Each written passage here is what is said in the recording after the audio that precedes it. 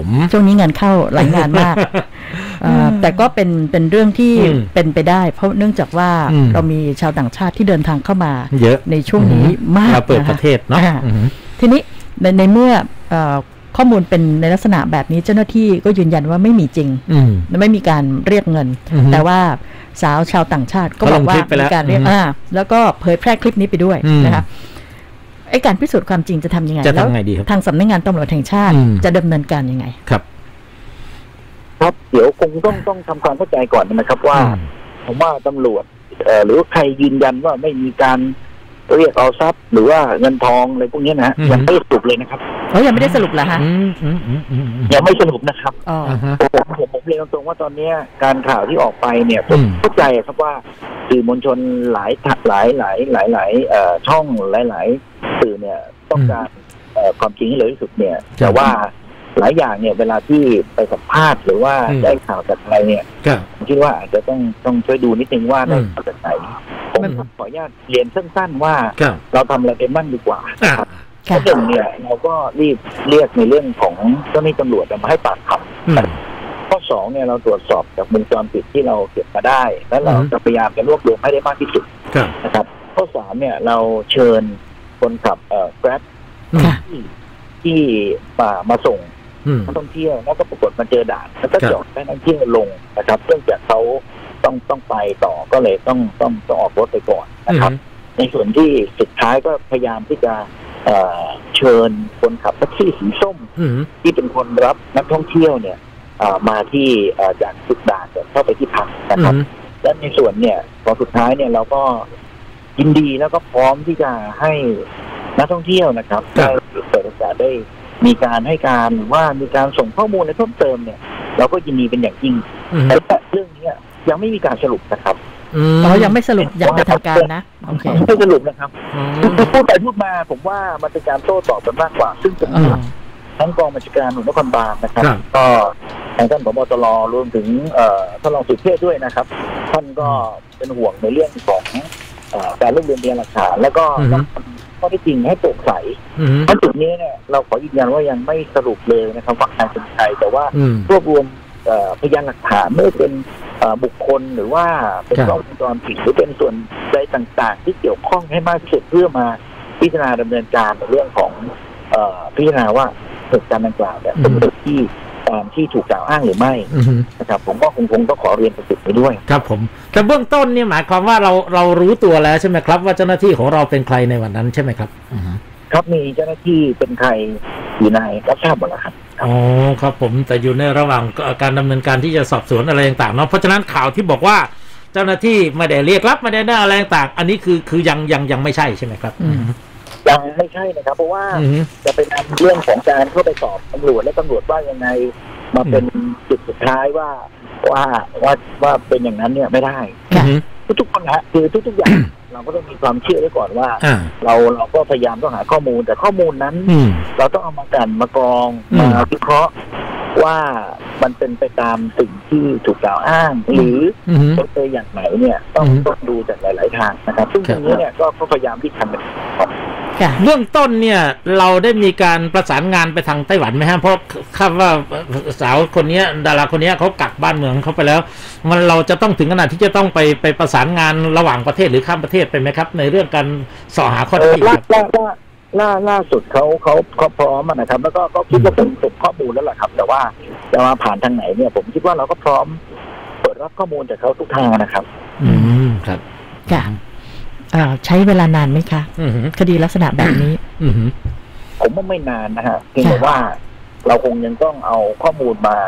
วิเคราะห์ แล้วก็เอามาพิจารณาดำเนินการในส่วนที่เกี่ยวข้องว่า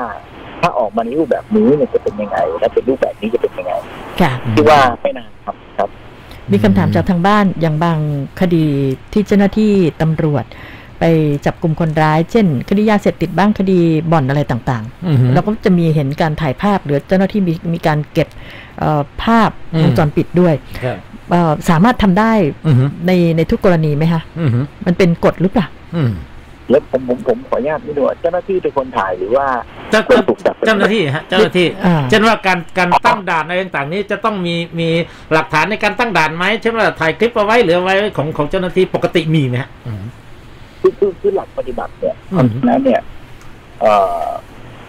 เห็นว่าสมควรจะต้องมีนะครับอืมแต่ว่าบางอย่างบางที่เนี่ยเวลาที่เราปฏิบัติหน้าที่เนี่ยไม่ว่าจะเป็นวัสดุอุปกรณ์ต่าง ๆ เนี่ย มันก็จะต้องเป็นของที่ใช้ในราชการหรือว่าเป็นของหลวงของอะไรพวกเนี้ยครับก็คงยังต้องต้องต้องพิจารณาดูว่าเป็นสิ่งที่เพียงพอหรือไม่อืมแล้วก็เป็นสิ่งที่สามารถที่จะ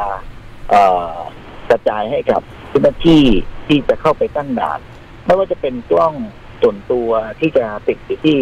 อกเสื้อครับที่หมวกอ๋อ ครับหรือจะเป็นที่ตั้งด่านก็ดีเนี่ยครับตรงจุดเนี้ยเรากำลังมองในภาพรวมมันทั้งหมดครับเพียงแต่ว่ามันก็อาจจะมีบางส่วนที่มีบางส่วนที่ไม่มีบ้างอืมเราก็ควรทำให้เห็นมันทหารด้วยกันอันนี้ตรงนี้จุดนี้ก็เป็นเป็นถือว่าเป็นการเอ่อสิ่งที่เราก็คงจะต้องพิจารณาดูต่อไปในอนาคตนะอืมครับผมค่ะกรณีนี้ถ้าไม่เป็นความจริงอือหือจะดำเนินการยังเอไงอเราจะฟ้องเขากลับไหมแล้วถ้าหรือยังไงแล้วถ้าเป็นความจริงอืมจะดำเนินการยังไงคะครับ ผมขอตอบเป็นความจริงก่อนนะครับถ้าอ่าเป็นความจริงก็คงต้องทั้งวินัยทั้งอาญาก็อืมอย่างเจ็บขาดนะครับครับแต่ถ้าไม่เป็นความจริงเนี่ยเราคงมาขอดูมุมนิดนึงว่าไม่ใช่เป็นความจริงแบบไหน เพราะว่า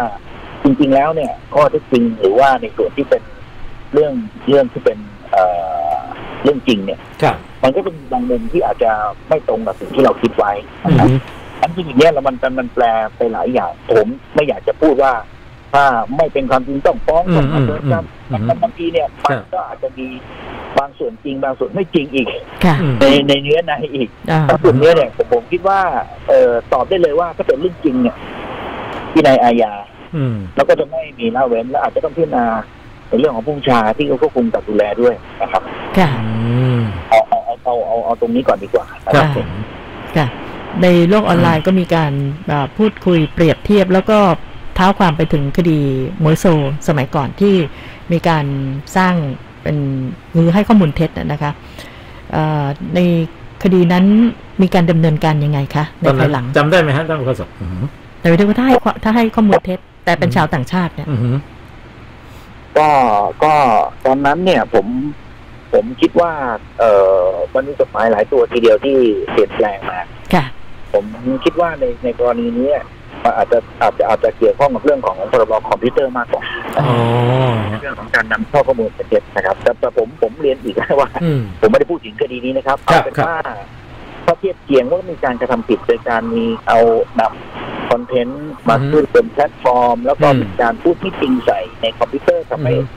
เสียหายเนี่ยก็จะเป็นลักษณะของพรบคอมพิวเตอร์นะครับอืมมันจะเป็นจุดหนึ่งครับ เอ๊ะผมผมไม่แน่ใจครับท่านโฆษกไอ้เรื่องพรบการนำเข้าข้อมูลอันเป็นเท็จเนี่ยเอ่อมันเป็นกฎหมายเฉพาะในประเทศไทยหรือว่าหรือมัน worldwide ฮะต่างประเทศเขามีไหมไอ้ไอ้คดีไอ้ไอ้ไอ้ไอ้กฎกฎหมายในลักษณะอย่างเงี้ยครับท่านอืม